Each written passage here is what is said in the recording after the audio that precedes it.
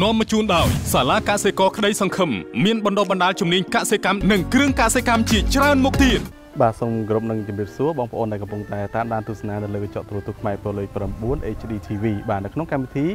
ស្វែងយល់ពីកសិកម្មបាទអញ្ចឹងសប្តាហ៍ថ្មីទៀតហើយបាទនៅក្នុងកម្មវិធីស្វែងយល់កសិកម្មតែងតែនាំបងប្អូន បាទទៅគ្រប់ខេត្តក្រុងតែម្ដង បាទដែលមានប្រជាកសិករដែលគាត់មានភាពជោគជ័យពីមុខរបរកសិកម្មនេះផងដែរបាទអញ្ចឹងក្នុងសប្តាហ៍នេះគឺយើងបានមកដល់ភូមិទូស្ពឺឃុំតលុន ស្រុកស្អាងខេត្តកណ្ដាលបាទអញ្ចឹងសម្រាប់សប្តាហ៍នេះគឺខ្ញុំបាទនឹងនាំបងប្អូនមកជួបជាមួយនឹងបងប្រុសម្នាក់ដែលគាត់ចិញ្ចឹមនៅសត្វទីកប៉ាដែលមានចំនួនច្រើនហើយនឹងជោគជ័យខ្លាំងមែនទែនបាទកុំឲ្យខាត់ពេលយូរសូមទៅជាមួយនឹងខ្ញុំបាទទាំងអស់គ្នាបាទ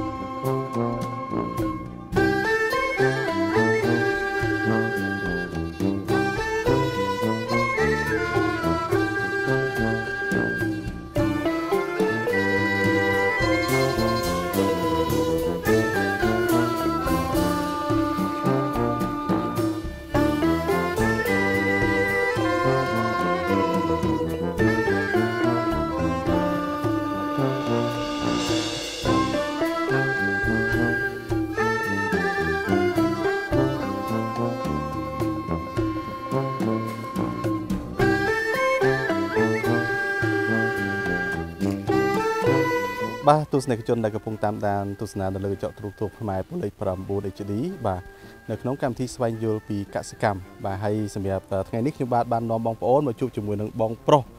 ដែលគាត់បានចិញ្ចឹមសត្វទាកប៉ាបាទហើយឥឡូវនេះជួបជាមួយនឹងគាត់ទាំងអស់គ្នាបាទជំរាបសួរបងប្រុសបាទអឺបងប្រុសអាចជួយជម្រាបឈ្មោះទៅកាន់ទស្សនិកជនដែលកំពុងតាមដានបាទខ្ញុំបាទឈ្មោះយឿនវិចិត្រនៅឃុំទួយស្ពឺឃុំតលុនស្រុកស្អាងខេត្តកណ្ដាលបាទ អូខេហើយថ្ងៃនេះយើងបានមកដល់ខេត្តកណ្ដាលបាទនៅក្នុងស្រុកស្អាង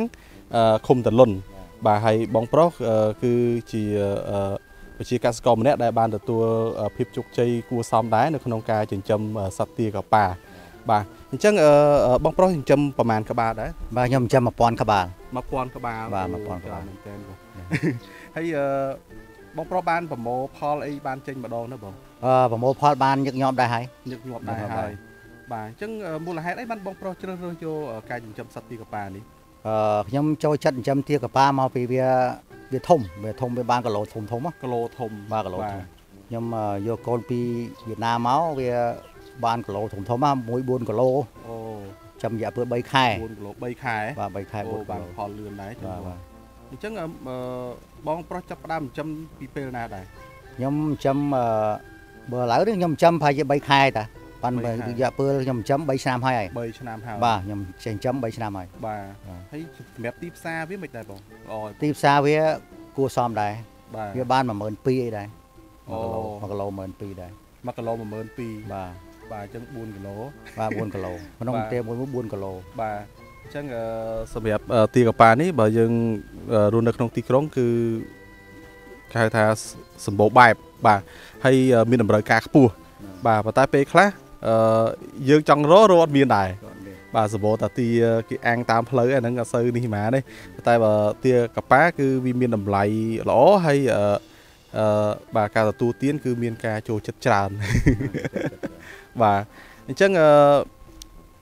កាលបងប្រុសចិញ្ចឹមពីដំណាក់កាលដំបូងហ្នឹងមានជួបប្រទេសអីខ្លះទេបងបញ្ហាខ្ញុំចិញ្ចឹមដំណាក់កាលដំបូងខ្ញុំជួបបញ្ហាវាងាប់តាទាតកប៉ាហ្នឹងវាងាប់ដែរបាទវាឈឺវាងាប់វាឈឺងាប់ ហើយដល់ពេលខ្ញុំក៏មិនអស់មិនហើយក៏ខ្ញុំទៅរៀននៅសាលាកសិករក្តីខំណាបាទបាទបាទខ្ញុំទៅរៀនតាខ្ញុំទៅរៀនចេះចិញ្ចឹមមកចេះមើលទាចេះសបាប់យ៉ាងចេះឲ្យតំណីឲ្យសัตว์ឲ្យឆ្នាំឲ្យវាចឹងទៅបាទវាបានគ្រាន់បើតអញ្ចឹងចំសាក្រោយសាក្រោយមកវាតែងជោគជ័យរហូតជោគជ័យបាទបាទជោគជ័យរហូតអត់មានប៉ះពាល់អីទេបាទហើយនៅបងមានម្ដងបន្ថែមទៀតទេបងខ្ញុំមានម្ដងបន្ថែមទៀតអូបាទនឹងមានម្ដងបន្ថែមថែមតទៅទៀត បាទឥឡូវឥឡូវហ្នឹងយើងចិញ្ចឹម1000ក្បាលហ្នឹងសិន1000បាទក្បាលសិនបាទហើយអឺសម្រាប់អឺអឺការលក់វិញការប្រមូលផល គឺមានគេមកយកដល់ឬក៏បងស្វែងរកអឺគេមកយើងហៅគេមកមកយកមកគេហៅបាគេទមកយកមកគេហៅគេមកយកគេមកយកដល់ដល់ផ្ទះចឹងស្រួលដែរបាទស្រួលគេហៅគេមកយកបាទអត់មានពិបាកថាអូពេលអឺយើងចិញ្ចឹមហើយយើងត្រូវអឺ ទៅរកអឺទីផ្សារសម្រាប់លក់បាទដូចជាកសិករខ្លះបាទអឺនៅពេលដែលខ្ញុំទៅជួបគាត់ណាបាទគាត់ថាពីដំបូងគាត់អត់ហ៊ានចិញ្ចឹមទេនៅពេលដែលគាត់អឺអឺបានមើលកម្មវិធីរបស់យើងហើយបាទឥឡូវឧទាហរណ៍ថាខ្ញុំកំពុងតែជួបមួយបងអញ្ចឹង ạ បាទអញ្ចឹងបងគាត់មើលឃើញបងជោគជ័យហើយអញ្ចឹងគាត់នឹងមានចំណាប់អារម្មណ៍ទៅលើការងារហ្នឹង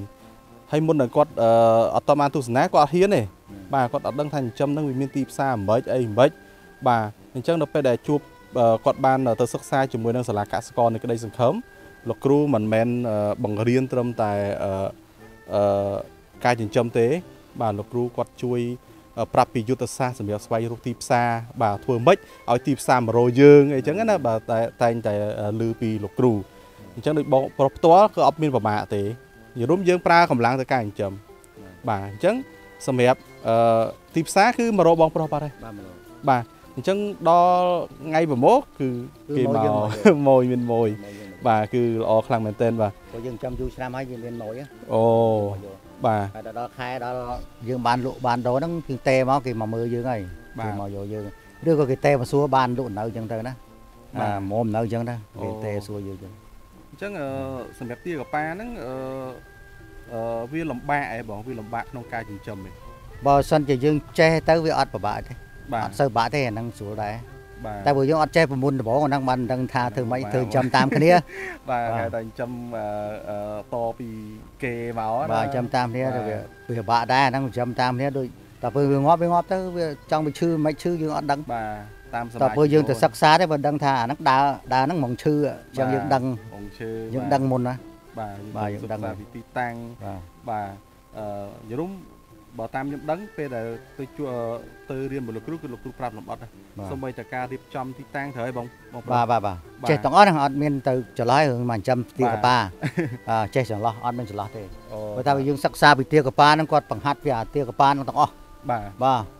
ទាំងអស់ចេះទាំងអស់អូអត់មានចន្លោះតណាទេបាទកុំឲ្យតែយើងខ្ជិលធ្វើតាមអាហ្នឹងឲ្យតែខ្ជិលខូចខាតដែរបាទបាទអញ្ចឹងអឺពេលដែលអឺមុនបងអឺអឺ សម្រាប់ចិត្តទៅជួបលោកគ្រូហ្នឹងបងមានបញ្ហារួចហើយបាទប៉ុន្តែមុននឹងទៀតនៅពេលដែលបងចិញ្ចឹមដំបងបងអត់ទាន់បានអឺអឺស្គាល់លោកគ្រូទេត្រូវទេនៅអត់ស្គាល់បាទនៅពេលដែលបងមានបញ្ហាហើយបងដឹងព័ត៌មានតាមរយៈអីដែរបានបងអឺសម្រាប់ចិត្តភ្លាមភ្លាមៗតែម្ដងសម្រាប់ការទៅសិក្សាខ្ញុំតើពឿនមានបញ្ហាបានខ្ញុំវាយ YouTube មើលទៅឃើញដូចបាទសាលាកាកកក្រីសង្ឃឹមហ្នឹងវាដូចថាគ្រាន់បើដូចមើលទៅទំនង3 2 3ថ្ងៃគាត់ទុកចិត្ត ក៏បាទទៅប្រហើយបាទហើយពេលអញ្ចឹងទៅមានមានក្នុងចិត្តមួយថាបារម្ភណាអឺអញអស់លុយប៉ុណ្ណឹងហើយដឹងមិនទេបានផលឬក៏មិនមានគិតអញ្ចឹងទេបងណាវាជាវាអារម្មណ៍ដែរបើបាទអស់លុយហើយបាទអស់លុយហើយហើយអញ្ចឹងនៅពេលដែលបងបានទៅសិក្សាជាមួយលោកគ្រូហើយបាទបាទបងមានអារម្មណ៍មិនដែរអាចជម្រាបទៅកាន់យើងយកមកសិក្សាយើងយកមកអភិវឌ្ឍទៅវាឃើញដូចថាអេវាបានផលរៀងបាទដូចរៀងថារៀងប្លែកអញ្ចឹងអញ្ចឹងទារៀងប្លែកអេអញ្ចឹងអញ្ចឹងត្រូវហើយបាទវាយើងអញ្ចឹងត្រូវអញ្ចឹងវាយើងអយើងយើងសង្ឃឹមហ្មងបាទហើយក៏មានកូនចិត្តថានឹកឃើញតាំងចិត្តចំតទៀតហ៎អូអាហើយព្រោះយើងយើងដឹងហើយបាទបាទហើយបងមានចង់ទៅសិក្សាវគ្គបន្ថែមទៀតទេបើសិនជាខ្ញុំចង់ចេះអីមួយទៀតបាទខ្ញុំទៅបាទឥឡូវខ្ញុំចេះខាងទាកប៉ាហ្នឹងខ្ញុំចេះប៉ុណ្ណឹងសិនហើយបាទព្រោះតែខ្ញុំចង់ចេះចិញ្ចឹមថៃចង់ចេះចិញ្ចឹមបកងអីចឹងខ្ញុំទៅទៀតហើយបាទបាទត្រូវតែខ្ញុំអត់តន់ ចង់ចេះអាហ្នឹងទេជៀសជៀសវាងការខាតទេបងបាទណាបាទបាទបាទហើយខ្ញុំការខាតខាតអស់ច្រើនទេបងហេខាតអស់ពី2000ដែរអូបាទព្រោះខ្ញុំចាំច្រើនច្រើនណាអូហ្នឹងហើយណាបងខាត1000ក្បាលមិនតិចទេណាបងបាទបាទអញ្1000ចឹងអឺបងប្អូនបងប្អូនដែលកំពុងតែទស្សនា បាទអញ្ចឹងយើងចំណាយដើមទុនប៉ុណ្ណឹងហើយ បាទនៅពេលដែលមានបញ្ហាគឺស្ដាយមែនទែនបាទហើយក៏ដូចគ្នាដែរសម្រាប់បងប្អូនវិជាកសិកររបស់យើង បាទបងប្អូនដែលគាត់មានដីទំនេរទំនេរណាបាទគួរតែអឺអឺ គិតឡើងវិញហើយនៅពេលដែលបានទស្សនាជាមួយនឹងកម្មវិធីរបស់យើងអឺបានមើលពីភាពជោគជ័យរបស់វិជាកសិករនីមួយៗដែលគាត់អឺបានខំប្រឹងកសាងអញ្ចឹងយើងត្រូវងាកមើលមកខ្លួនឯងវិញថាឥឡូវនេះយើងមានដីហើយសួរថាយើងអាចធ្វើឲ្យបានហើយជ្រើសរើសយកជាមួយនឹងសាលាកសិករនៃក្តីសង្ឃឹមបាទបងប្អូនបានទៅជួបជាមួយលោកគ្រូហើយលោកគ្រូនឹងបង្ហាត់បង្ហាញ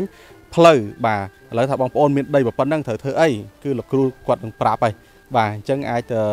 ទស្សនាលើកញ្ចក់ទូទាស់បាទមានឃើញលេខទូរស័ព្ទហើយអាចតាក់ទងជាមួយលោកគ្រូផ្ទាល់បាន បាទគឺសាលាកសិករនៃក្តីសង្ឃឹមដែលមានលោកគ្រូសេងមនហូនគឺជានាយកសាលាផងហើយក៏ជាគ្រូបង្រៀនផ្ទាល់ដូចបងប្រុសគាត់បានជួបជាមួយលោកគ្រូផ្ទាល់ហើយបាទដំបូងរៀងក៏ស្ទាក់ស្ទើរដែរប៉ុន្តែដល់ពេលដែលបានជួបមួយលោកគ្រូហើយ បាទដល់ពេលថ្ងៃក្រោយចង់ថែមុខរបរទៀតបាទព្រោះឃើញដីបងធំណាបងអញ្ចឹងហើយខ្ញុំគិតថាហើយមិនយូរទេបាទមិនយូរបងអាចនឹងបាទចិញ្ចឹមត្រីចិញ្ចឹមអីបាទអរគុណបងប្រុសហើយអឺអឺជាចុងក្រោយបងមានពាក្យពេចន៍អីដើម្បីផ្ដែផ្ដាំទៅកាន់បងប្អូនដែលកំពុងតែទស្សនាលើកញ្ចក់ទូទាស់ដែលឃើញពីភាពជោគជ័យរបស់បងខ្ញុំថាគួរតែមុននឹងចិញ្ចឹមសត្វអ្វីមួយគួរតែទៅរៀនឲ្យចេះឲ្យដឹងឲ្យ ឲ្យឲ្យចេះសិនចាំយកមកអភិវឌ្ឍបានអត់បរាជ័យបាទហ្នឹងសូមផ្ដាំញ៉ាទៅអញ្ចឹងណាបាទបាទទៅរៀនឲ្យចេះហើយទៅបាទដើម្បីយកមកយកមកអភិវឌ្ឍអាហ្នឹងអត់ចេះបរាជ័យទេហើយបើយើងអត់ចេះសោះយើងចាប់ដើមធ្វើហ្មងអាហ្នឹងមិនដឹងចាប់ចុងយងដើមអីទេអត់ដឹងបានជោគជ័យបងប្រុសអញ្ចឹងបាទបាទអញ្ចឹងភាពជោគជ័យមួយមួយមិនមែនចេះតែកើតមានទេតើតែយើង ជាអ្នកចាប់ផ្ដើមវា បាទដូចបងប្រុសអញ្ចឹង គាត់មិនមែនមកភ្លាមគាត់ជោគជ័យទេគាត់ចាប់ផ្ដើម បាទគាត់ជួបបញ្ហា បាទបានគាត់ចាប់ផ្ដើមស្វែងរកចំណេះដឹងអញ្ចឹងបើបងប្អូនអត់ចង់ឲ្យមានបញ្ហាទេបងប្អូនអាចស្វែងរកចំណេះដឹងមុននឹងប្រកបមុខរបរចិញ្ចឹមសត្វណាមួយ បាទអញ្ចឹងបងប្អូនស្គាល់ហើយគឺសាលាកសិករនៃក្តីសង្ឃឹមដែលសាលាគឺតែងតែយកចិត្តទុកដាក់បាទទៅលើបងប្អូនហើយសម្រាប់សិស្សរបស់លោកគ្រូនីមួយៗបាទ ទោះបីមានបញ្ហាអំបិចអីអំបិចមិនមែនតតែទៅរៀនទេនៅពេលដែលចុះឈ្មោះចូលរៀននៅពេលដែលគាត់បានមកប្រកបមុខរបរហើយនៅពេលដែលមានបញ្ហាគឺលោកគ្រូគាត់ជួយត្រួសត្រាយផ្លូវរហូតបាទនៅពេលដែលមានបញ្ហាដោះខ្លួនអត់អត់ចេញគឺអាចតាក់ទងជាមួយនឹងលោកគ្រូបានអញ្ចឹងមិនមែនថាអូគ្រាន់តែរៀនចប់ហើយគឺលេងខ្វល់ទេបាទអញ្ចឹងបានលោកគ្រូគាត់តែងតែឲ្យពួកខ្ញុំមកជួបជាមួយនឹងវិជាកសិករដែលបានសិក្សាជាមួយលោកគ្រូបាទចង់ដឹងថាជោគជ័យរបៀបម៉េចបាទសង្ឃថា បើថាលើកមុនវិញលោកគ្រូចូលផ្ទាល់ទៀតបើមកដល់ច្អល់បងទេធ្វើចេះអត់ត្រូវទេតែឥឡូវដោយសារមួយរយៈលោកគ្រូគាត់សិស្សច្រើនហើយគាត់អត់អាចចុះមកជាមួយពួកខ្ញុំបានទេមួយក្រុមការងារបានទេអញ្ចឹងក្រុមការងារគឺចុះមកអញ្ចឹងទៅហើយដោយអត់មានវត្តមានលោកគ្រូបើពីមុនវិញមានតែឥឡូវលោកគ្រូអឺមានសិស្សច្រើនបាទហើយឥឡូវក៏មានទីតាំងថ្មីទៀតសម្រាប់ឲ្យអឺសិស្សដែលគាត់មកសិក្សាចំនួនក្រោយនេះគឺមានកន្លែងស្នាក់នៅអីល្អបាទដើម្បីអឺគេហៅថា ទទួលបាទបាទសម្រាប់សិស្សដែលគាត់មកពីចម្ងាយដែលគាត់អត់មានកន្លែងស្នាក់នៅអញ្ចឹងណាបងបាទអញ្ចឹងអរគុណហើយទស្សនិកជនដែលកំពុងតាមដានទស្សនានៅលើកញ្ចក់ទូទាស់សម្រាប់អឺអឺកម្មវិធីបាទបន្ទាប់ទៀតយើងនឹងជួបជាមួយនឹងលោកគ្រូអឺសេងប៊ុនហូនបាទដែលលោកគ្រូនឹងបកស្រាយបន្ថែមទៅលើសត្វទាកប៉ាបាទហើយក៏អរគុណបងប្រុសសម្រាប់ពេលវេលាដ៏មានតម្លៃសម្រាប់ចូលរួមជាមួយនឹងកម្មវិធីរបស់យើងហើយជូនពរឲ្យបងកាន់តែជោគជ័យបន្ថែមទៀតហើយ បាទហើយនៅពេលដែលបងប្រុសចង់បន្ថែមរបរទៀតបងបងប្រុសនឹងធ្វើធ្វើមិនហើយបាទអរគុណហើយសម្រាប់វគ្គបន្តនឹងជួបជាមួយនឹងលោកគ្រូសេងមហុនជាបន្តអញ្ចឹងសម្រាប់ខ្ញុំបាទនឹងក្រុមការងារសូមពេលសម្រាប់បន្តិចសិន thank you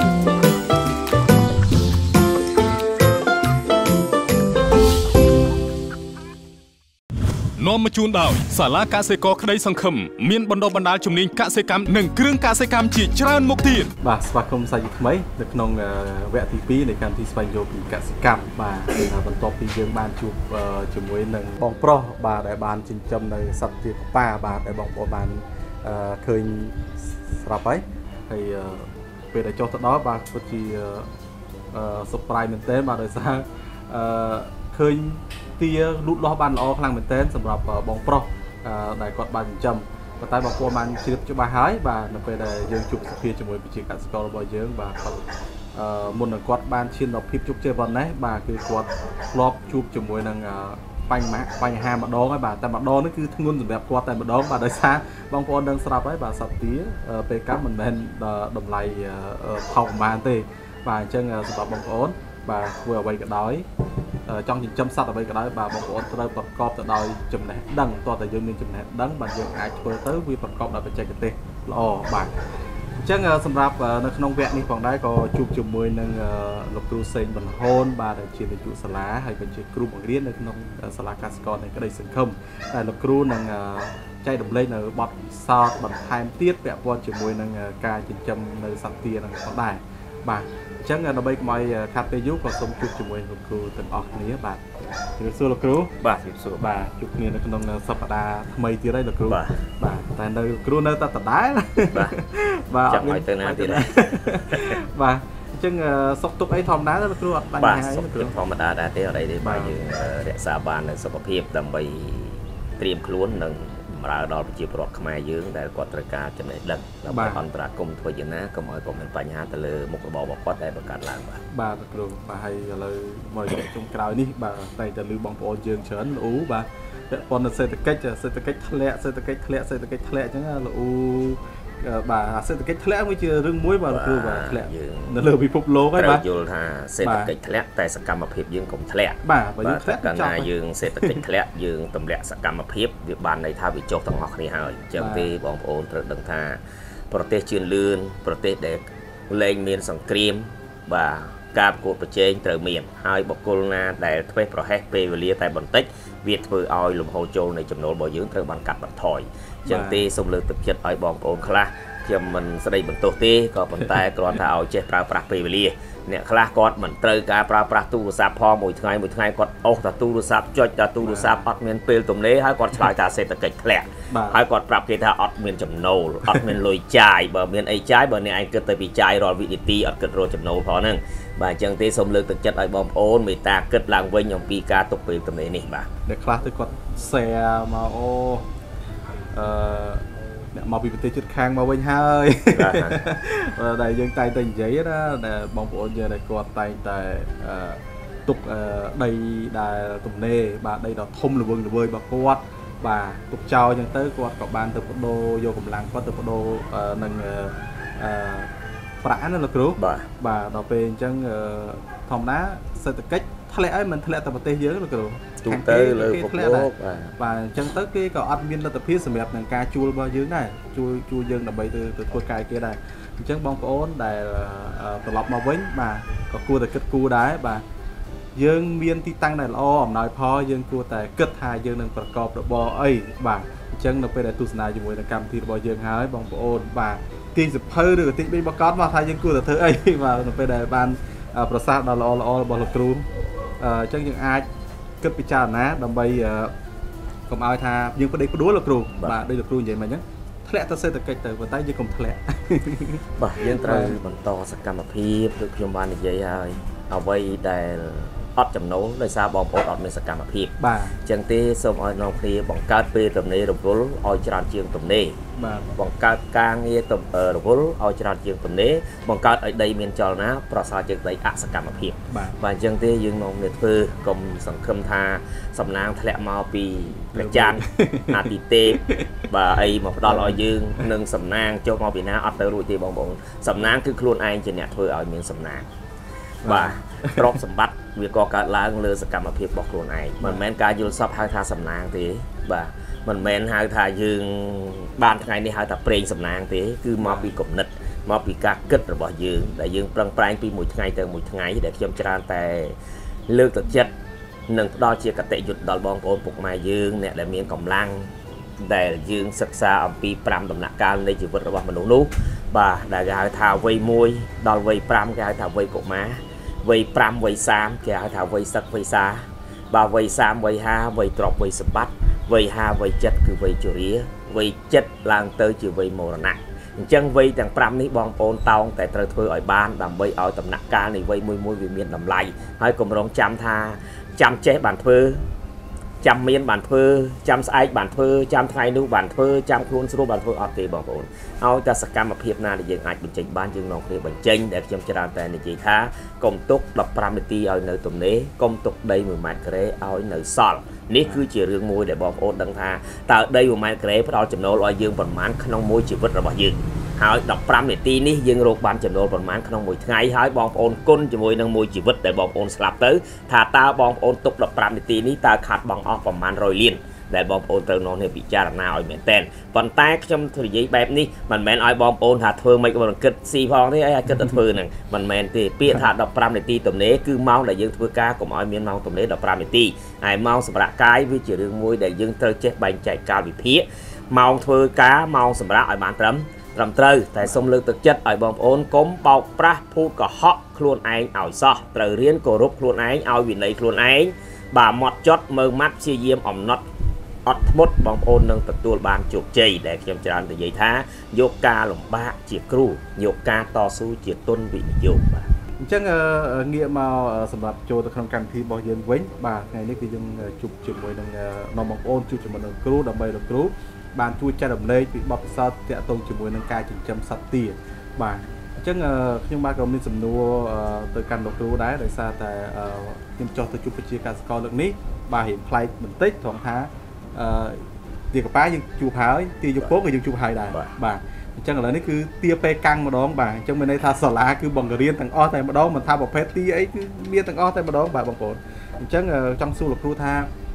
សម្រាប់សត្វទាទាំង3ប្រភេទហ្នឹងបាទមានទាពេលកាំងទាកប៉ាហើយនិងទាយកពងបាទអញ្ចឹងការចិញ្ចឹមរបស់វាហ្នឹងវាខុសប្លែកគ្នាយ៉ាងណាដែរលោកគ្រូបាទនិយាយពាក្យថាទាវាតែមួយម៉ាត់ទិទាដូចគ្នាតែគ្រាន់យើងបែងចែកចេញជាទាសាច់ទាយកពងបាទទាបន្តពូជអីចឹងទៅឬក៏បែងចែកចេញជាទាតៃវ៉ាន់ ទាកប៉ាទាកាគីទាសំពៅទាអីហ្នឹងគឺវាមានប្រភេទទាដែលផ្សេងផ្សេងពីគ្នាប៉ុន្តែការចិញ្ចឹមវាមិនខុសត្រូវគ្នាប៉ុន្មានទេប៉ុន្តែវាលក្ខណៈជីវសាស្ត្រតែតែខុសគ្នាហើយដូចយើងប្រើពាក្យថាមនុស្សមួយម៉ាត់គឺមនុស្សដូចគ្នាប៉ុន្តែការរស់នៅរបស់មនុស្សតម្រូវការរបស់មនុស្សខុសៗគ្នាបន្តិចបន្តួចមនុស្សខ្លះត្រូវការនេះបានសុខភាពល្អមនុស្សខ្លះត្រូវការនោះបានសុខភាពល្អយ៉ាងណាមិញការចិញ្ចឹមទាដូចគ្នា ការចិញ្ចឹមទាកប៉ាតើវាត្រូវការអីហើយការចិញ្ចឹមទាតៃវ៉ាន់ហ្នឹងវាត្រូវការអីហើយចិញ្ចឹមទាយកពងតើវាត្រូវការអីដើម្បីធ្វើឲ្យពងវាត្រូវតលយៈភាពជាមួយនឹងភាគរយដែលយើងបានចំណាយទៅលើចំណីក្នុងការផ្គង់ឯចំណែកទាតៃវ៉ាន់ឬក៏ទាពេកាំងនេះក៏ដូចគ្នាតើយើងត្រូវធ្វើការចិញ្ចឹមបែបណាបំរើសេវាកម្មទៅលើចំណីការគ្រប់គ្រងបែបណាដើម្បីធ្វើឲ្យវាពីចន្លោះពី60ទៅ75ថ្ងៃនេះលក់ឡើងលើទីផ្សារបានដែលមានទម្ងន់2គីឡូកន្លះទៅ3គីឡូកន្លះហ្នឹងតើយើងត្រូវធ្វើរបៀបម៉េចការគ្រប់គ្រងវាមានវិធីសាស្ត្រច្រើនហើយសូមបងប្អូនបញ្ជាក់ឡើងវិញថាពេលដែលខ្ញុំនិយាយនេះមិនមែនជាព័ត៌មានបញ្ចេញសកម្មភាពឲ្យបងប្អូនធ្វើទេជាព័ត៌មានសិក្សាបើបងប្អូនចង់បានជោគជ័យនិងផលប្រយោជន៍ដោយកសិករដែលកំពុងតែទទួលផលនេះបងប្អូនត្រូវលះបង់ពេលវេលាដើម្បីចូលរួមសហការទាំងអស់គ្នាផ្ទេរយកចំណេះដឹងបទពិសោធន៍ពីខ្ញុំដើម្បីយកទៅបញ្ចេញសកម្មភាពជៀសវាងការបញ្ចេញសកម្មភាពដ៏គ្មានចំណេះដឹងវាបណ្ដាលឲ្យមានហានិភ័យដល់ក្រុមគ្រួសារបងប្អូនខ្ញុំឧទាហរណ៍បងប្អូនកសិករខ្លះ ក្មួយក្មួយខ្លះគាត់ប្រឹងប្រែងសន្សំលុយតាំងពីរៀបចំដៃអាពាហ៍ពិពាហ៍ចាប់ដៃអាពាហ៍ពិពាហ៍គ្នារហូតដល់4ឆ្នាំ5ឆ្នាំ10ឆ្នាំទទួលបានលុយ3ឬក៏4លានហើយគាត់ចង់បង្កើតមុខរបរមួយហើយមុខរបរដែលគាត់បង្កើតឡើងគឺគ្មានចំណេះដឹងទេគាត់ធ្វើដោយស្មានដោយប្រថុយនៅពេលដែលគាត់ធ្វើទៅជួបហានិភ័យកើតឡើងអស់អាលីង3 4លានដែលគាត់ខំប្រឹងសន្សំ3ទៅ5ឆ្នាំនេះនឹងហើយដែលធ្វើឲ្យការបង្កើតមុខរបរដោយគ្មានលំនឹង ដែលគ្មានស្ថិរភាពដែលគ្មានគោលដៅមួយច្បាស់ច្បាស់លាស់អញ្ចឹងក៏សូមលើកទឹកចិត្តឲ្យបងប្អូនពុកម៉ែនិងក្មួយក្មួយមីងពូអ៊ំទាំងអស់ដែលកំពុងតែតាមដានលើកញ្ចក់ទូរទស្សន៍ខ្មែរប៉ុស្តិ៍លេខ9នៅនាទីស្វែងយល់ពីកសិកម្មនេះមេត្តាកុំបង្កើតមុខរបរអ្វីមួយដែលខ្លួនមិនមានការយល់ដឹងឲ្យសោះកុំធ្វើតាមទម្លាប់កុំធ្វើតតគ្នាបើបងប្អូនឃើញថាគេធ្វើបានលើមុខរបរមួយនេះកំពុងតែប្រមូលចំណូលបានហើយនោះបងប្អូនតោងសិក្សាតើធ្វើយ៉ាងណាឲ្យបានដូចគេដើម្បីឲ្យបានដូចគេបងប្អូនត្រូវតែអំណត់អត់ធ្មត់ព្យាយាមនិងឲ្យតម្លៃលើចំណេះដឹងអញ្ចឹងបងប្អូនគ្រាន់តែចាក់ចេញពីផ្ទះរបស់បងប្អូនតែមួយព្រឹកមកជួបខ្ញុំបងប្អូនមានចំណេះជំនាញដោយគាត់ដើម្បីបង្កើតមុខរបរនិងអភិរក្សទុនវិនិយោគរបស់បងប្អូន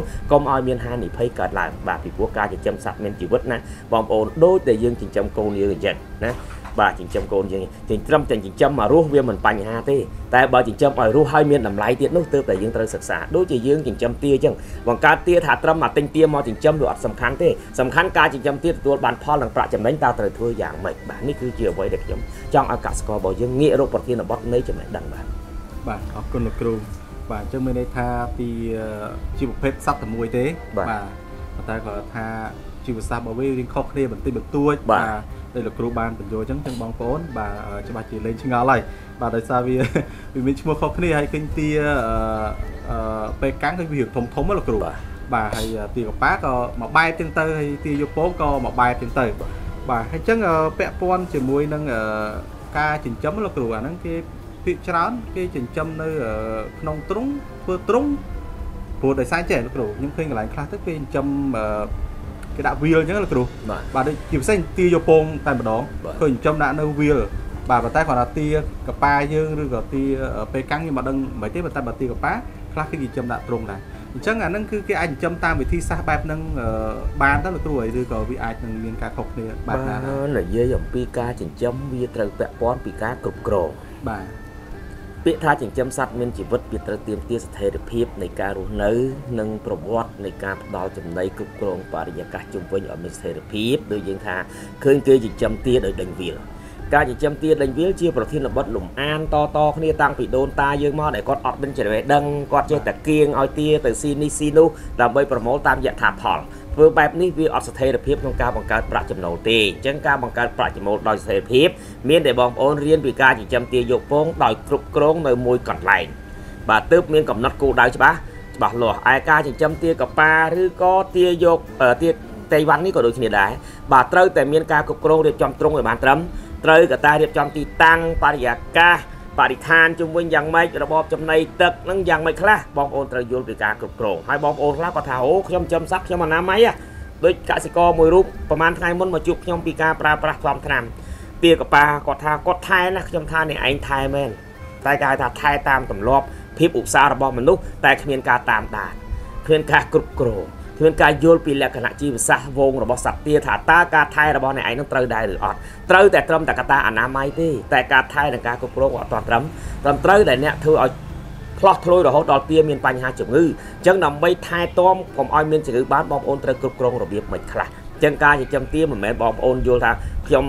ឮសូរគេចិញ្ចឹមថាបងប្អូនចិញ្ចឹមសត្វត្រូវមានកតាអនាម័យណាតាអនាម័យគិតតែពីបោសគិតតែពីសម្អាតអត់យល់ពីការគ្រប់គ្រងនិងការការពារវិធានការទប់ស្កាត់បងប្អូនបោសសម្អាតក៏វាគ្មានប្រយោជន៍អីត្រឡប់មកវិញប៉ុន្តែការសម្អាតគឺជារឿងមួយត្រឹម ត្រឹមត្រូវលើកទឹកចិត្តការអនាម័យជារឿងមួយប្រធានបទមួយដែលយើងត្រូវតែតោងយកហើយក៏ប៉ុន្តែបើការអនាម័យគ្មានការយល់ដឹងការអនាម័យនោះក៏នៅតែផលលំបាកនឹងជួបឧបសគ្គវិញដល់ដល់ដែរទេធ្វើឲ្យការបាក់ស្បាតរហូតដល់យើងហ៊ាននិយាយថាអើយមិនចាំទេអនាម័យមិនក៏វាទៅតែងាប់ដែរដោយបងប្អូនអត់តន់មានចំណេះដឹងក្នុងការគ្រប់គ្រងវិធានការនៃការទប់ស្កាត់វិធានការនៃការការ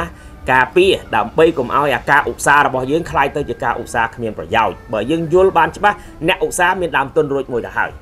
អ្នកឧស្សាហ៍បានន័យថាគាត់យកចិត្តទុកដាក់លើការងារអញ្ចឹងគាត់គ្រាន់តែបំពាក់នៅចំណេះដឹងនិងការយល់ដឹងតែបន្តិចបងប្អូនអ្នកឧស្សាហ៍ប្រកាសណាស់នឹងទទួលបានជោគជ័យ100%បាទបើតាមលោកគ្រូបកស្រាយមករៀងស្រៀងស្រៀងគ្នាដែរបាទថាអឺការចិញ្ចឹមទាកប៉ាឬក៏ទាពេកាំងឬក៏ទាគឺវាទៀមទាទៅលើបើនិយាយទៅការសិក្សាតែម្ដងបាទអញ្ចឹងសម្រាប់បងប្អូនបើសិនជាចង់ច្បាស់បាទជាមួយនឹងការចិញ្ចឹមមិនថាយើងចិញ្ចឹមតាមរបៀបណា បាទយើងអាចតាក់ទងជាមួយនឹងសាលាបាទដើម្បីតតែយើងយល់ច្បាស់មានចំណេះដឹងច្បាស់តាមបច្ចេកទេសត្រឹមត្រូវបានវាអាចនឹងជៀសវាងជាមួយនឹងហានិភ័យបាទដូចបានលោកគ្រូបានជម្រាបប្រាប់ទៅកាន់បងប្អូនអញ្ចឹងបាទអញ្ចឹងខ្ញុំចង់សួរលោកគ្រូពាក់ព័ន្ធជាមួយនឹងផលលំបាកបាទនៃការចិញ្ចឹមលោកគ្រូមិនថាទាយោពោឬក៏ទាបេកាំងឬក៏ទាកប៉ាភាគច្រើនវាជួបការលំបាកទៅលើអីខ្លះដែរលោកគ្រូពាក់ព័ន្ធជាមួយនឹងការចិញ្ចឹមណា បាទពាក្យថាការចិញ្ចឹមផលលំបាករបស់វាគឺការគ្រប់គ្រងនឹងហើយដែលបងប្អូនមិនបានយល់កាលណាខ្វះចន្លោះការគ្រប់គ្រងវាធ្វើឲ្យទារបស់យើងវាមានបញ្ហាជំងឺរោគរាតត្បាតផ្សេងផ្សេងដោយឡែកដោយឡែកពីគ្នាបាទអញ្ចឹងផលលំបាកអ្វីដែលសំខាន់ថាមូលកត្តាអីខ្លះគឺកត្តាមកពីយើងអត់មានការយល់យល់ដឹងទើបក៏កើតនឹងផលលំបាកឡើងហើយពេលនេះក៏ខ្ញុំសូមបញ្ជាក់ឲ្យច្បាស់ទៅលើបងប្អូនដែលស្វែងយល់ពីការសាក់ទាសួរថាទាកប៉ាទាយោពងទាតៃវ៉ាន់ហ្នឹងវាខុសគ្នាយ៉ាងម៉េចខ្លះវាទាំង3នេះគឺដាច់ខាតត្រូវតែខុសគ្នា បាទត្បិតតែវាទាតែមួយមុខមែនហើយផលលំបាកក៏វាខុសគ្នាដែរអញ្ចឹងទី1ការអ្នកដែលចិញ្ចឹមទាតៃវ៉ាន់បានតែផ្ដោតទៅលើការចិញ្ចឹមទាលក់សាច់អញ្ចឹងការចិញ្ចឹមទាលក់សាច់គឺយើងគ្រប់គ្រងយ៉ាងម៉េចឲ្យទាមានសុខភាពល្អ បាទទាវាមានកម្លាំងកាយធម្មពលខ្លាំងក្លាដើម្បីទប់ទល់ជាមួយការផ្លាស់ប្ដូរការសៀតនិងស៊ីចំណីបានល្អរំលាយអាហារបានត្រឹមត្រូវធ្វើឲ្យវាធំធាត់លឿននិងមិនមានការបាត់បង់និងជំងឺកើតឡើងចន្លោះពេលនៃការចិញ្ចឹមដោយសារបងប្អូនត្រូវដឹងថាបើសិនជាសត្វរបស់យើងឈឺយើងត្រូវការប្រើប្រាស់ថ្នាំការកណាប្រើប្រាស់ថ្នាំវាត្រូវខាត់បងទៅលើ ទុនវត្ថុធាតុដើមរបស់យើងដើម្បីយើងចំណាយថ្លៃដើមផលិតវាខ្ពស់អញ្ចឹងត្រូវមានវិធានការការពារហើយការប្រើប្រាស់ថ្នាំនឹងទៀតសោតពេលប្រើប្រាស់ថ្នាំហើយបងប្អូនមិនអាចទទួលទានសាច់នោះបានទេបាទត្រូវនាំគ្នាគិតអំពីគុណភាពនៃសាច់អញ្ចឹងបងប្អូនត្រូវនាំគ្នាចិញ្ចឹមសត្វធ្វើយ៉ាងណាកុំឲ្យសត្វឈឺនៅចន្លោះពេលដែលវាកំពុងតែបញ្ចេញសកម្មភាពធ្វើការលូតលាស់របស់វាយើងត្រូវមានវិធានការបានត្រឹមត្រូវហើយការចិញ្ចឹមទា តៃវ៉ាន់ផ្ដោតសំខាន់គឺវត្តមាននៃការរស់នៅរបស់កូនទារហូតដល់ជាទាសាច់ក្នុងរយៈពេលមួយការកំណត់ច្បាស់លាស់ការពារកុំឲ្យមានជំងឺអញ្ចឹងកត្តាសំខាន់ជំរុញឲ្យសត្វនឹងធំធាត់លឿននិងគ្មានជំងឺនៅដំណាក់កាលណាមួយនេះចំពោះទាយកសាច់តៃវ៉ាន់ឬហៅថាទាពេលកាហ្នឹងឯងបាទអញ្ចឹងបងប្អូនអាចចិញ្ចឹមទាយកសាច់នឹងបានបងប្អូនត្រូវសិក្សាពីការគ្រប់គ្រងទាធ្វើយ៉ាងណាកុំឲ្យបាត់បង់និងជំរឿនការធំធាត់លឿនឯចំណែកទាកប៉ាគឺយើងបែងចែកចេញជាពីរ បងប្អូនត្រូវគ្រប់គ្រងពីការចម្រឿនសាច់ធំធាត់លឿនផងនិងគ្រប់គ្រងដើម្បីយកពងទៅភ្ញាស់ផងទៅក្រាបបកាត់ពូជបន្តផងអញ្ចឹងការចិញ្ចឹមទាកប៉ាវាមានលក្ខណៈគ្រប់គ្រងខុសពីទាតៃវ៉ាន់បាទដោយសារចែកចេញជាពីររវាងទាសាច់និងទាយកពងដើម្បីទៅភ្ញាស់គ្រប់គ្រងធ្វើពូជបន្តឯចំណែកទាយកពងវិញបងប្អូនត្រូវគិតថាចែកចេញជាពីរដំណាក់កាលដូចគ្នាដើម្បីឲ្យដំណាក់កាលនៃពងរបស់វាពៀនភាគរយគ្រប់គ្រាន់បងប្អូនត្រូវយល់ពីការគ្រប់គ្រងពីកូនទាទៅទាសាច់ ទាមធ្យមទាចំទង់ទៅទារៀបពងនិងទាសាច់អញ្ចឹងចន្លោះពេលនោះបងប្អូនត្រូវគ្រប់គ្រងយ៉ាងណាដើម្បីឲ្យវាបង្កើតនៅកន្សោមពងកម្លាំងធម្មពលល្អនៅពេលដំណាក់កាលអាយុកាលដែលវាផ្ដល់សុទ្ធនោះគឺវាមានភាគរយគ្រប់គ្រាន់និងពងដែលមានទំហំល្អទៅលើទីផ្សារអញ្ចឹងទាំងអស់នេះការគ្រប់គ្រងទាទាំង3ប្រភេទនេះបិទតែឈ្មោះទាតែមួយប៉ុន្តែវាការគ្រប់គ្រងដំណាក់កាលនីមួយៗខុសគ្នាដូចខ្ញុំបានលើកឡើងខាងដើមមួយបាញ់មិញអញ្ចឹងអ្នកចិញ្ចឹមទា តៃវ៉ាន់សំខាន់គុតគង់នៃការបាត់បង់ចំនួននិងធ្វើឲ្យវាធំធាត់ទៅតាមអាយុកាលដែលយើងបានកំណត់ឯចំណែកចិញ្ចឹមទាកប៉ាគឺចែកចេញជាពីររវាងទាគុតគង់សាច់និងទាយកពងដើម្បីទៅបង្កាត់ពូជបានបន្តឯអ្នកចិញ្ចឹមទាយកពងគឺត្រូវការគុតគង់ពីទាសាច់ទៅជាទាយកពងដើម្បីឲ្យមានសុខភាពល្អបង្កើតកសោមពងឲ្យត្រូវនឹងតម្រូវការភាគរយនៃការផ្ដល់ចំណីនិងតម្រូវការតម្លៃទីផ្សារធ្វើការប្រកួតប្រជែងអញ្ចឹងហើយបានគេច្រើនតែនិយាយថាហេតុអី បានជាកសិករយើងដំអូនដំអែទៅលើការផលិតទាដូចជាទាកប៉ាក្តីទាតៃវ៉ាន់ក្តីទាយោពងក្តីពងតម្លៃប៉ុណ្ណេះហើយចិញ្ចឹមនៅតែមិនចំណេញដោយសារអីដោយសារគាត់អត់តន់ចេះមានវិធីសាស្ត្រក្នុងការពង្រឹងសមត្ថភាពឲ្យភាគរយកំណើនឡើងនៃចំនួនពងទាក្នុងទាមួយក្បាលឲ្យមានភាគរយប្រមាណដែលយើងចិញ្ចឹមរាល់ថ្ងៃហើយដល់កំណាក់ការណាមួយដែលយើងត្រូវធ្វើវាឲ្យកុំឲ្យបាត់បង់ចំនួនភាគរយ ឯចំណែកទាកប៉ាដូចគ្នាដែរយើងត្រូវធ្វើយ៉ាងម៉េចអត្រាភាគរយនៃការញាស់របស់ពងវាបានល្អ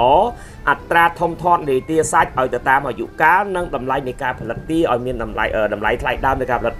ចំណីទាដូចតកតងនឹងសាច់ទាឲ្យមានតម្លៃទាបប្រកួតប្រជែងទីផ្សារតើបងប្អូនត្រូវធ្វើយ៉ាងណាខ្លះយើងបងប្អូនអត់តន់យល់ដឹងឯចំណែកចិញ្ចឹមទាយកសាច់ក៏ដូចគ្នា ត្រូវធ្វើយ៉ាងណាដើម្បីឲ្យចំទាតៃវ៉ាន់ទាបេកាំងនេះទៅតាមអាយុកាលដែលទីផ្សាររបស់យើងចង់បានហើយឲ្យមានតម្លៃស័ក្តិមូលជាមួយទីផ្សារអញ្ចឹងសូមលើកទឹកចិត្តបងប្អូនមកវិញអ្នកចិញ្ចឹមទាយកពងក្តីចិញ្ចឹមទាកប៉ាក្តីចិញ្ចឹមទាតៃវ៉ាន់នេះក្តីមិនត្រូវកំណត់តម្លៃឲ្យទីផ្សារគេទិញទេយើងត្រូវបត់បែនតម្លៃតាមទីតាមទីផ្សារឧទាហរណ៍ថាទីផ្សារគេឲ្យតម្លៃប៉ុណ្ណេះបងប្អូនត្រូវតែលក់តាមតម្លៃទីផ្សារបន្ទាប់មកបងប្អូនយកតម្លៃមកធ្វើវិសោធនកម្មឬក៏បើធ្វើ ទិន្នន័យទៅលើចំណូលនិងចំណាយហើយបើដឹងថាប៉ុណ្ណឹងគេប្រមូលទិញហើយបងប្អូនត្រូវចេះវិធីសាស្ត្រក្នុងការកែច្នៃជំរឿនពន្លឿននៃការចិញ្ចឹមឲ្យប្រើរយៈពេលខ្លីតែធំធាត់លឿនទម្ងន់បានធ្ងន់តើយើងត្រូវប្រើប្រាស់រូបមន្តចំណីបែបណាការគ្រប់គ្រងបែបណាការឲ្យបាត់បង់នឹងយ៉ាងម៉េចបងប្អូនត្រូវយល់ពីគោលការណ៍ទាំងអស់នេះទើបការបង្កើតមុខរបរមាននិរន្តរភាពហើយគ្មានហានិភ័យពីព្រោះកន្លងមកនេះខ្ញុំស្ដាប់ព័ត៌មានទៅឃើញកសិករយើងរវើរវាយច្រើនណាស់បាទ ជួនកាលនឹកឃើញធ្វើនេះគឺធ្វើទៅធ្វើជួបបញ្ហាទៅគាត់ប្រឈប់ទៅគាត់អត់ដោះទេគាត់ចាប់ដើមបង្កើតរបរមួយទៀតមុខរបរមួយទៀតមានបញ្ហាទៀតគាត់ទុកចោលទៀតគាត់អត់ព្រមដោះហើយរហូតដល់ដោះជួបបញ្ហា2 3ដង4ដងចាប់ដើមវិច្ចប្រវិច្ច បាទលក់កម្លាំងរបស់គាត់ដ៏អស្ចារ្យនេះទៅឲ្យគេហើយទុកទីតាំងដល់មហិមានេះចោលអានឹងហើយដែលបុគ្គលដែលជួបនៅបញ្ហាមិនព្រមដោះអញ្ចឹងខ្ញុំសូមលើកទឹកចិត្តឲ្យបងប្អូនពុកម៉ែទាំងអស់មានបញ្ហាត្រូវយកបញ្ហាមកជាប្រធានបទនៃដំណោះស្រាយគ្មានបញ្ហាណាមួយដែលថាយើងដោះមិនបានទេរាល់បញ្ហាកើតឡើងបើយើងដោះមិនរួចយើងទៅរត់រោគបុគ្គលណាដែលមានសមត្ថភាពក្នុងការដោះបញ្ហានេះហើយយើងយកដំណោះស្រាយទាំងនេះទៅវិភាគនិងទៅវេកញែក បាទទៅសម្របសម្រួលទៅលើទីតាំងរបស់បងប្អូនដែលកំពុងជួបបញ្ហាហ្នឹងអញ្ចឹងគ្មានបញ្ហាណាមួយដែលជាអាកំបាំងគ្មានអ្វីដែលយើងថាធ្វើមិនកើតបាទគ្មានអ្វីដែលយើងដោះមិនបាននោះទេយើងត្រូវតែនាំគ្នាដោះបាទជួបបញ្ហាបុគ្គលនេះដោះមិនបានយើងទៅរកបុគ្គលណាមួយទៀតដែលគេអាចជួយដោះយើងបានបាទហើយបញ្ហាទាសប្ងៃបើនិយាយពីទាតៃវ៉ាន់ក្តីទាកប៉ាក្តីទាយោពងក្តីទីផ្សារល្អមែនតែនបាទសប្ថ្ងៃនេះ បាទល្អមែនទែនប៉ុន្តែកសិករយើងនៅតែមិនទាន់សស្រាក់សស្រាំក្នុងការបង្កើតមុខរបរនេះដោយភាពរឹងមាំនៅឡើយបាទអត់ទាន់យកសកម្មភាពរឹងមាំមកបង្កើតទេច្រើនតែមើលតតគ្នាអ្នកខ្លះគាត់យល់ថា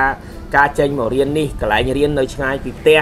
បាទអ្នកខ្លះគាត់និយាយថានៅផ្ទះរបស់គាត់នេះមានអ្នកជំងឺអ្នកខ្លះគាត់និយាយថាផ្ទះរបស់គាត់នេះមានកូនក្មេងប្រធានបទទាំងអស់នេះសុទ្ធតែជាឧបសគ្គសុទ្ធតែជាមៀទាំងអស់បងប្អូនពេលឃើញមៀបងប្អូនទៅរុញច្រានមៀចេញទុកមៀមកដុំសិនទៅយកមៀទៅដាក់ត្រង់អីសិនទៅណាកុំប្រឡែងមៀចេញ បាទគប់ឲ្យស្កាត់ដើម្បីយើងរកវិធីសាស្ត្រទៅការទប់ជាមួយនឹងមីឲ្យបានបើបងប្អូននៅតែប្រឡែងមីជុំវិញជីវិតរបស់បងប្អូនបងប្អូនដើរចេញទៅណាអត់រួចទេណាហើយបងប្អូនកុំយកប្រធានបទឆ្ងាយមិនឆ្ងាយទេខ្ញុំសូមលើកទឹកចិត្តឲ្យបងប្អូនធ្វើការប្រៀបធៀបរវាងក្រុមអភិជនឧទាហរណ៍អ្នកក្រុមអង្គការឬក៏ជាសិទ្ធិឬក៏ជាមន្ត្រីធំធំនោះគេតម្រាំតែទទួលបានជោគជ័យនៃជីវិតរបស់គេតើគេលះបង់ពេលវេលាអ្វីខ្លះគេលះបង់អ្វីខ្លះដើម្បីឲ្យដល់គោលដៅដែលគេចង់បាន ចឹងគឺលះបង់តាំងពីចម្ងាយចឆ្លងពីប្រទេសមួយទៅប្រទេសមួយឆ្លះបង់តាំងពីពេលវេលាដើម្បីធ្វើការសិក្សាស្វែងយកចំណេះដឹងដើម្បីបម្រើជីវិតចោះចំណែកយើងអ្នកដែលខ្វះចំណេះដឹងខ្វះលទ្ធភាពបង្កើតមុខរបរមិនក៏មិនព្រមចាក់ចេញពីលំនៅឋានរយៈពេល1ថ្ងៃ2ថ្ងៃឬក៏3ថ្ងៃដើម្បីយកចំណេះដឹងទៅបង្កើនលើទីតាំងដែលខ្លួនមានបងប្អូនទាំងអស់គឺមានអស់ហើយតែខ្វះតែចំណេះដឹងតែមួយគត់បងប្អូនមានទេណាកម្លាំងពេលវេលាទីតាំង តែបងប្អូននៅតែប្រើប្រាប់គេថាខ្ញុំអត់លុយអ្វីដែលបងប្អូនអត់លុយអ្វីដែលបងប្អូនខុសខាតដោយសារបងប្អូនមិនទាន់ចេះប្រើប្រាស់ធនទាំង3ហ្នឹងបើបងប្អូនចេះប្រើប្រាស់ធនទាំង3កម្លាំងពេលវេលានិងទីតាំងបានគឺបងប្អូននឹងមានចំណូលអញ្ចឹងដើម្បីប្រើប្រាស់ពេលវេលាកម្លាំងនិងទីតាំងបានលុះត្រាតែបងប្អូនបំពាក់យកនៅចំណេះដឹងច្បាមយកនៅចំណេះដឹងឲ្យបានពេលដែលបានចំណេះដឹងហើយបងប្អូនបំពាក់នៅភាពឆ្លាតវៃរហ័សរហួនម៉ត់ចត់មើងម៉ាត់អំណត់ជាយាមឲ្យតម្លៃលើកិច្ចការកុំបោកប្រាស់ កុំកុហកខ្លួនឯងខ្ញុំធានាជូនបងប្អូនប្រកាសណាស់នឹងមានទ្រព្យសម្បត្តិនិងមានភាពអភិវឌ្ឍណាកាលណាបងប្អូនមានទ្រព្យសម្បត្តិគ្រួសារបងប្អូនមានសុភមង្គលកាលណាគ្រួសារមានសុភមង្គលបានន័យថាគ្រួសារនោះមានភាពរុងរុងរឿងបើគ្រួសារបងបងប្អូនរុងរឿងប្រកាសណាស់សង្គមយើងមានភាពអភិវឌ្ឍនិងវិវត្តទៅមុខតាមរយៈ ប្រទេសមួយដែលមានប្រជាពលរដ្ឋរស់ក្នុងធនធានមនុស្សរស់នៅក្នុងភាពយល់យល់ដឹងបើយើងនាំគ្នាគិតតែពីរឿងអវិជ្ជាគិតតែពីរឿងអ្វីដែលធ្វើទៅមិនកើតសង្គមយើងនោះប្រកាសជាអាប់អោនជាមិនខានដោយសារមានប្រជាពលរដ្ឋបណ្ដុំនៃមនុស្សដែលអត់មានការយល់ដឹងអញ្ចឹងខ្ញុំលើកទឹកចិត្តឃើញថាប្រជាពលរដ្ឋខ្មែរយើងសប្តាហ៍មានការយល់ដឹងច្រើនក៏ប៉ុន្តែនៅមានមួយចំនួនដែរនៅតែមានះថារៀនអត់បានប្រយោជន៍បាទសូមបងប្អូន លុបនឹងច្រានចោលពាក្យថារៀនពាក្យថារៀនត្រូវតែមានប្រយោជន៍ពាក្យថារៀនត្រូវតែមានជំនាញពាក្យថារៀនត្រូវតែមានការយល់យល់ដឹងនិងស្វែងយល់ក្នុងសង្គមរបស់យើងពីព្រោះក្នុងសង្គមលើពិភពលោកយើងនេះសង្គមណាក៏គេត្រូវអ្នកត្រូវការអ្នករៀនតែកាលណារៀនហើយគឺយើងដឹងហើយនៅពេលដែលដឹងយើងបញ្ចេញសកម្មភាពនៃការដឹងយើងខ្លាយទៅជាអ្នកចេះចេះបូកនឹងដឹងទើបគេឲ្យឈ្មោះថាអ្នកចេះដឹងអ្នកដែលចេះអ្នកដែលដឹងគឺអ្នកដែលមានបទពិសោធន៍ការងារ បាទមានជំនាញច្បាស់លាស់ទើបខ្លាយខ្លួនជាអ្នកចេះដឹងបាទខ្ញុំបាទក៏សូមជម្រាបទៅកាន់បងប្អូនផងដែរបាទអញ្ចឹងដោយតែគ្រូបានមានប្រសាសន៍អញ្ចឹងរាល់កិច្ចការអ្វីក៏ដោយ បាទគួរណាស់តែបងប្អូនត្រូវតែមានចំណេះដឹងឲ្យច្បាស់លាស់ដើម្បីកុំឲ្យអឺការចំណាយពេលវេលារបស់យើងក៏ដូចជាប្រាក់កាសរបស់យើងវាខាតបង់បាទហើយសម្រាប់បងប្អូនបាទ ដែលកំពុងតែទស្សនានៅលើកញ្ចក់ទូរទស្សន៍ខ្មែរពលិ9នៅក្នុងកម្មវិធីស្វែងយល់ពីកសិកម្មបាទបងប្អូនមានចំណាប់អារម្មណ៍បាទពាក់ព័ន្ធជាមួយនឹងការចិញ្ចឹមមិនថាចិញ្ចឹមសត្វទាឬក៏សត្វផ្សេងៗបាទអាចតំណាក់តំណងជាមួយនឹងលេខទូរស័ព្ទនៅលើអេក្រង់បាទកញ្ចក់ទូរទស្សន៍តែម្ដងបាទដើម្បីតំណាក់តំណងជាមួយនឹងលោកគ្រូផ្ទាល់ដើម្បីលោកគ្រូនឹងផ្ដល់ចំណេះដឹងបាទដើម្បីឲ្យបងប្អូនបាទមានបច្ចេកទេសត្រឹមត្រូវនៅក្នុងការចិញ្ចឹមសត្វផងដែរ បាទហើយសម្រាប់សាលាក៏មានទីតាំងថ្មីហើយបាទដែលសាងសង់រួចហើយហើយក៏ដំណើរការនៅក្នុងខែ7ខែ7ខាងមុខនេះបាទដែលមានទីតាំងធំទូលាយបាទមានផាសុខភាពហើយមានទីតាំងសម្រាប់ឲ្យសិស្សស្នាក់នៅថែមទៀតផងបាទហើយសម្រាប់ទីតាំងហ្នឹងក៏មានបាទសម្រាប់ឲ្យបងប្អូនអាចធ្វើម្ហូបញ៉ាំបានបាទ គេថាបងប្អូនខ្លះគាត់មិនសូវជាមានយកពីទូទាអាចយកអង្គឬក៏យកអីបានដូចលោកគ្រូបានជម្រាបចឹងបាទមកទីនេះតតែម្ដងទៅបាទហើយយើងអាចធ្វើជាដាំបាយឬក៏ធ្វើម្ហូបអីញ៉ាំខ្លួនឯងបើជាបងប្អូនមិនចង់អញ្ចឹងបាទផ្សារនៅជិតស្រាប់តែម្ដងបាទកន្លែងទីតាំងគឺនៅគៀកគៀកគ្នាមែនតើបងប្អូនអាចទិញបាយម្ហូបដែលមានស្រាប់ដែលគេលក់នៅទីផ្សារស្រាប់ក៏បាន អអញ្ចឹងគឺវាមានភាពងាយស្រួលមែនទែនសម្រាប់បងប្អូនដែលមានទីតាំងនៅឆ្ងាយបាទអញ្ចឹងអរគុណច្រើនសម្រាប់បងប្អូនដែលកំពុងតែតាមដានទស្សនានៅក្នុងកម្មវិធីវគ្គក្រោយខ្ញុំនឹងជួបជាមួយលោកគ្រូម្ដងទៀតនៅក្នុងកម្មវិធីសិក្សាដែលជម្រាបជូនទៅបងប្អូននៅក្នុងខែ7ផងដែរអញ្ចឹងនៅពេលនេះខ្ញុំជាមួយនឹងលោកគ្រូក៏សូមពេលសម្រាប់បន្តិចសិនបាទ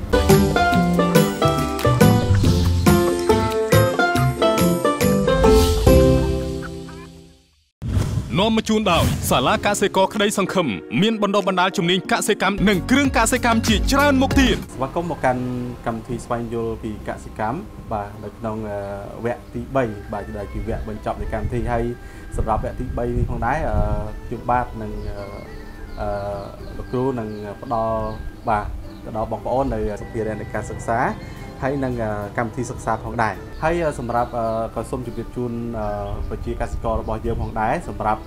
នៅក្នុងខែ7នេះបាទគឺខាងសាលាកសិករនៃក្តីសង្ឃឹមនឹងបដូរទីតាំងមកទីតាំងថ្មីបាទហើយដែលបងប្អូនបានជ្រាបខ្លះខ្លះហើយសម្រាប់ទីតាំងថ្មីនេះគឺមានផាសុកភាពល្អមែនទែនដោយសារលោកគ្រូក៏បានផ្ដល់នៅកន្លែងដែលគេហៅថាមានផាសុកភាពបាទ មាន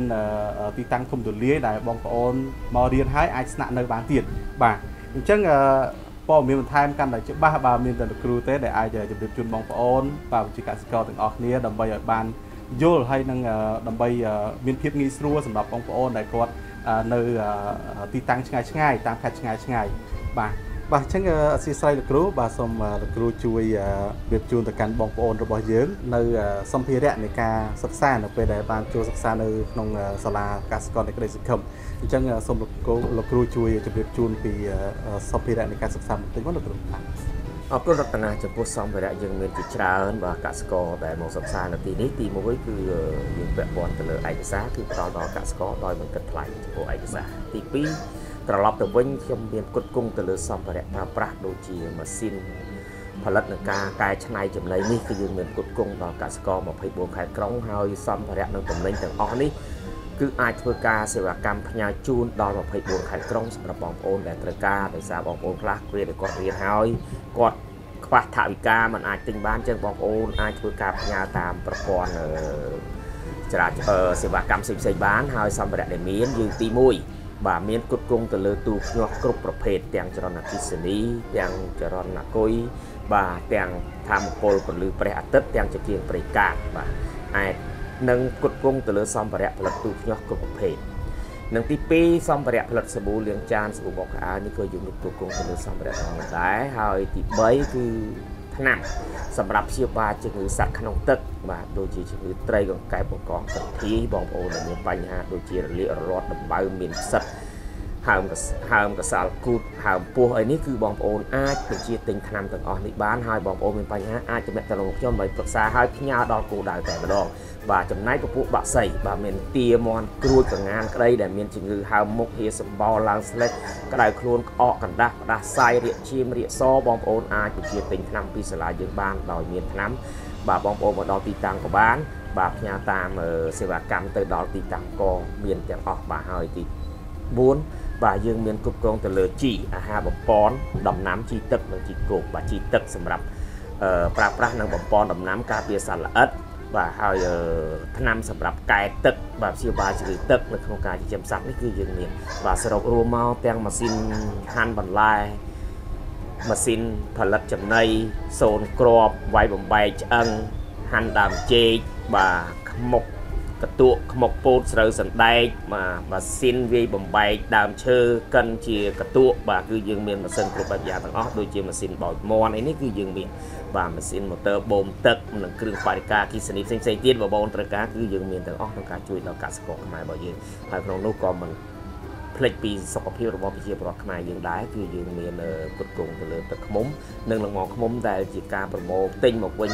បាទមកគុតគង់ក្នុងស្រុករបស់យើងជាសមិទ្ធផលចេញពីសាលាកសិករក្តីសង្ឃឹមរបស់យើងដែលកូនសិស្សបានចិញ្ចឹមបានហើយយើងធ្វើការប្រមូលដើម្បីចែកចាយបន្តបាទនេះគឺជាអ្វីដែលសាលាយើងខិតខំប្រឹងប្រែងធ្វើយ៉ាងណាដើម្បី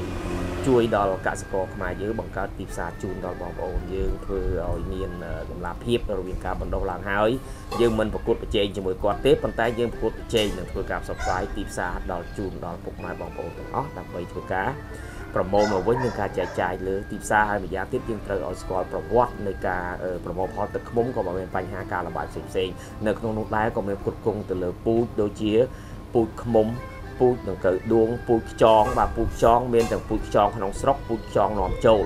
បាទហើយនឹងពូជមន់ខ្មែរពូជជាយោពងពូជវិធីពូជតុងនេះបាទយើងមានគ្រប់ទាំងអស់ជាពិសេសនោះគឺមានទាំងពូជ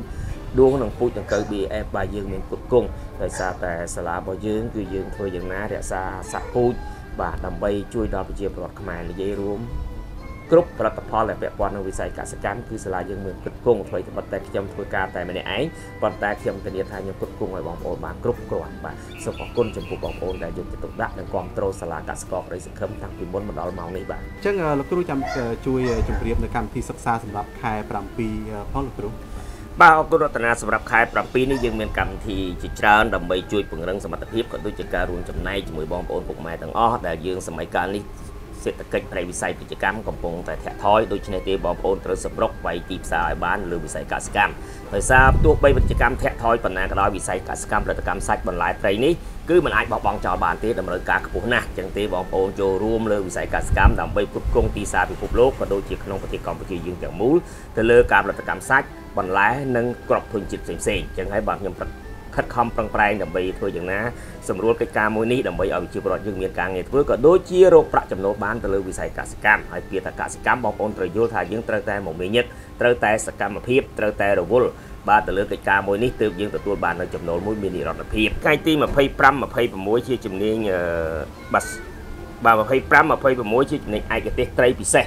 បាទត្រីពិសេសនេះបងប្អូនទទួលបានការចិញ្ចឹមត្រីគ្រប់ប្រភេទបាទទាំងត្រីមានសកាត្រីអត់សកាត្រីមានផ្លោកត្រីអត់ផ្លោកបើវិធីសាស្ត្រនៃការតម្លើងប្រព័ន្ធចម្រោះដើម្បីចិញ្ចឹមត្រីមិនបាច់ផ្លាស់ប្ដូរទឹកហើយទាញទឹកពីការចិញ្ចឹមត្រីទៅដាំដំណាំក្នុងទយោទឹកដោយពុំចាំបាច់ប្រើសារធាតុផ្សេងផ្សេងលើទីផ្សារនេះគឺជាវិធីសាស្ត្រដែលយើងទាញដើម្បីកាត់បន្ថយតម្លៃថៃដើមផលិតនិងវិធីសាស្ត្រនៃការអឺ ភ្ញាស់ត្រីបែបគោលការណ៍ធម្មជាតិដែលបងប្អូនអាចភ្ញាស់និងធ្វើយ៉ាងណាដើម្បីគ្រប់គ្រងត្រីលក់វិលជុំនិងវិធីសាស្ត្រក្នុងការព្យាបាលជំងឺត្រីកែទឹកព្យាបាលជំងឺទឹកបាទផលិតចំណីនិងកែច្នៃចំណីដើម្បីឲ្យតម្លៃថៃដើមប្រាក់ទាបបាននិងវិធីសាស្ត្រក្នុងការផលិតត្រីដើម្បីជាលក្ខណៈវិលជុំដើម្បីផ្គត់ផ្គង់លើទីផ្សារបាទដោយឡែកនៅថ្ងៃទី27និង28ជាជំនាញចិញ្ចឹមសត្វទូទៅបាទសត្វគ្រប់ប្រភេទបាទមន់ទៀតត្រីទងកើតចង្រិតកន្ធាយបង្កងជ្រូកគោចន្លេនដួងចង្រិត ខ្យងក្តាមកំពឹសបាទបងប្អូនអាចសិក្សាបានរយៈពេល2ថ្ងៃនេះគឺយើងសិក្សាទៅលើគ្រប់គ្រងសត្វចម្រុះហើយបាទបងប្អូននៅថ្ងៃទី29ជាចំណេញផលិតមេជីមេចំណីមេថ្នាំធម្មជាតិ SP 351 352 353និងរបៀបប្រើលេខកូដថ្នាំវិទ្យាសាស្ត្រដើម្បីព្យាបាលជំងឺសត្វដែលបងប្អូនចិញ្ចឹមបាទនឹងគឺជាថ្ងៃទី27 28និង29ដែលហៅថាកញ្ចប់សត្វទូទៅបាទដោយឡែកនៅថ្ងៃទី30និងទី31ជាជំនាញឯកទេសចិញ្ចឹមមាន់ខ្មែរពិសេស បាទមន់ខ្មែរពិសេសនេះបងប្អូនអាចធ្វើការទទួលបាននៅជំនាញ5សំខាន់សំខាន់ទី1ជំនាញនៃការចិញ្ចឹមមន់ពីពងមន់ដល់កូនមន់កូនមន់ដល់មន់សាច់មន់សាច់ដល់មេបាពូជរបៀបនៃការព្យាបាលជំងឺផលិតចំណីចាក់វ៉ាសាំងនិងវិធីសាស្ត្រក្នុងការរៀបចំទ្រុងការបង្កាន់ពូជដោយស្ពានទី2បងប្អូនចេះពីការផ្សំថ្នាំវិទ្យាសាស្ត្រដើម្បីព្យាបាលជំងឺមន់ដូចជាមន់មានជំងឺអសន្នរោគហៀសម្បោកអកដាសាយកណ្ដាស់ឬក៏គេហៅថាជំងឺ ផ្សេងផ្សេងដែលកើតឡើងបងប្អូនដែលមិនរំលាយគេឲ្យព្យាបាលបញ្ជាឬក៏ជំងឺផ្ដាសាយឡើងស្លេះនេះមិនមានលទ្ធភាពបងប្អូនមកជួប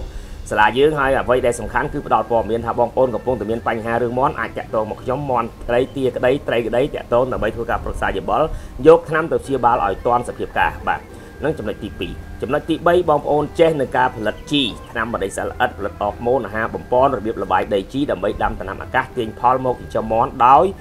ទាញកាកសំណល់ពីការចិញ្ចឹមមាន់ទៅប្រើប្រាស់ដើម្បីយកលទ្ធផលសម្រេចហើយជំនាញទី4គឺបងប្អូនចេះផលិតនៅអាហារបំពន់ SP 351 352 353ដោយខ្លួនឯងបែបគោលការណ៍ធម្មជាតិពុំចាំបាច់ទិញលើទីផ្សារនិងទី5បងប្អូនទទួលបាននៅជំនាញនៃការចិញ្ចឹមសំទោសជំនាញនៃការផលិតទូភ្ញាស់ ប្រើដោយចរន្តអគិសនីដោយខ្លួនឯងអញ្ចឹងក្នុងវគ្គឯកទេសមកនេះគឺមានកម្មវិធីពិសេសពិសេសជាច្រើនសម្រាប់ជួយសម្រួលដល់បងប្អូនពុកម៉ែកសិករយើងដែលស្រឡាញ់នៅវិស័យការចិញ្ចឹមមាន់ហើយបងប្អូនមានចំណាប់អារម្មណ៍អាចតាក់ទងធ្វើការចុះឈ្មោះទីមួយការការទទួលការចុះឈ្មោះអាចនៅអាស័យដ្ឋានបាទភូមិកគីឃុំកគីស្រុកជាងស្វាយខេត្តកណ្ដាលបាទទល់មុខផ្សារកគីតែម្ដងនៅផ្ទះលេខ359ជាហៅសេងបុនហូតបាទអញ្ចឹងបងប្អូនអាចទៅចុះឈ្មោះនៅទីនោះបានឯចំណែក ទីទីទីតាំងសិក្សា គឺយើងស្ថិតនៅក្នុងភូមិកណ្ដាលឃុំមន្ទីរដែកស្រុកគៀនស្វាយខេត្តកណ្ដាលបាទនៅចន្លោះបង្គោលគីឡូម៉ែត្រ31និង32បាទបងប្អូនអាចតាក់ទងមកខ្ញុំបានតាមរយៈទូរស័ព្ទចំនួន3ខ្សែគឺខ្សែទី1 085